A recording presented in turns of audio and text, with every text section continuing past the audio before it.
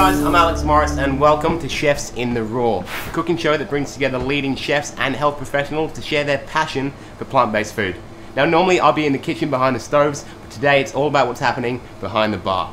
We're at the Hold here in Manly, where they're throwing together some awesome plant-based cocktails. So now all we need to do, find Brie and get our drink on.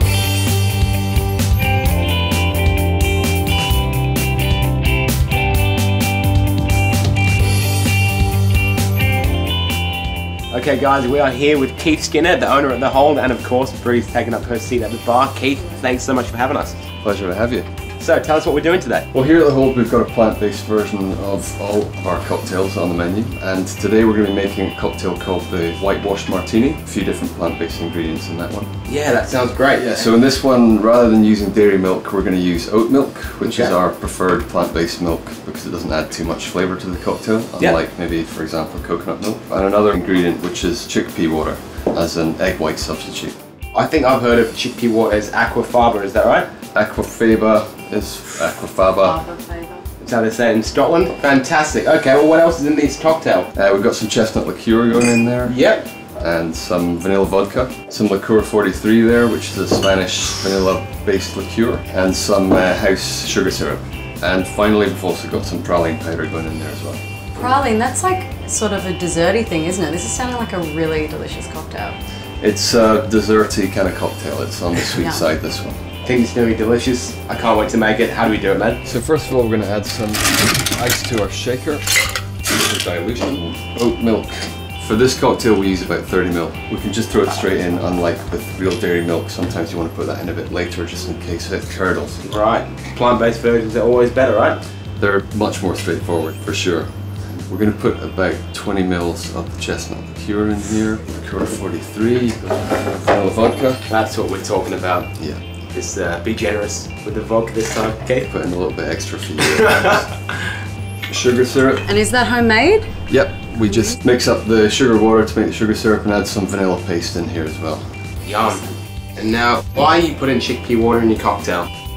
So, egg white gives a frothy head to a cocktail. The chickpea water does exactly the same thing, but it's a plant-based version. Amazing, what a great idea. So there's not too much required of this, we're just going to give a couple, maybe two or three mil. It's amazing how little you need to get that frothy head on it. And then finally we're going to get some praline powder in here Oh, it's going right in. Oh, it goes in. into the cocktail. And then shake it up.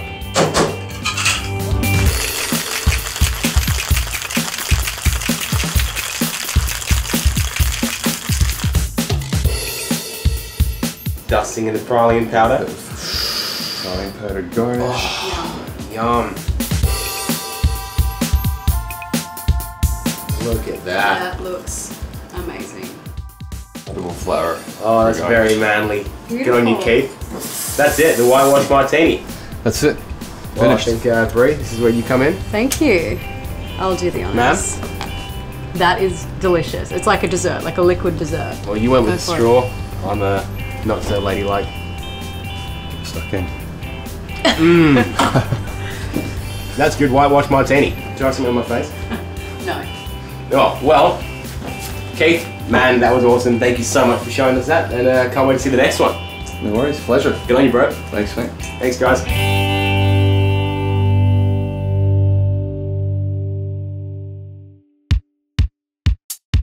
So I've reset the bar and we're ready to make our second cocktail and this time it's all about essential oils.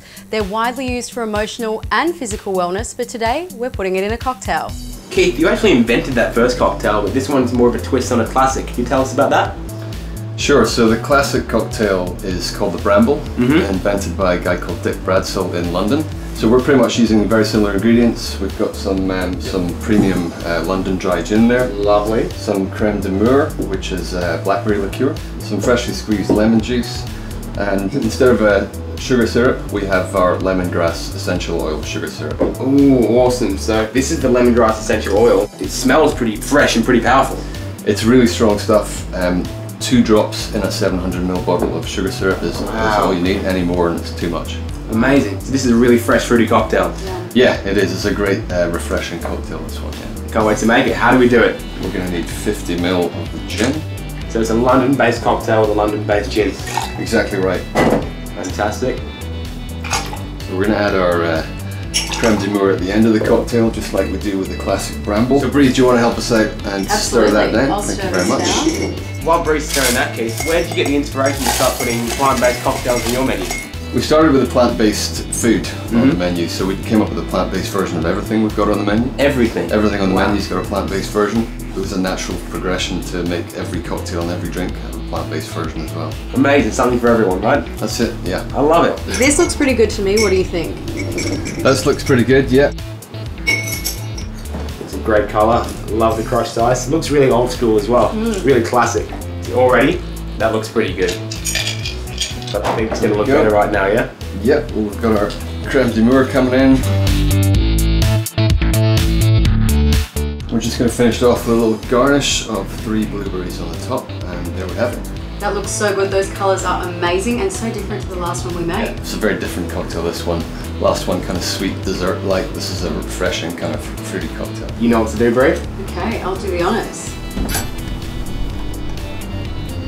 Yum, that is so refreshing, so fruity. I could definitely drink more than one of those. I'd love to see you do it. Oh man, that is like summertime in a glass. Amazing. Two very different cocktails, both plant-based, both delicious. All around amazing experience. Thank you so much, man. Pleasure, mate. Thanks for having us, and thanks, guys. We'll see you next time.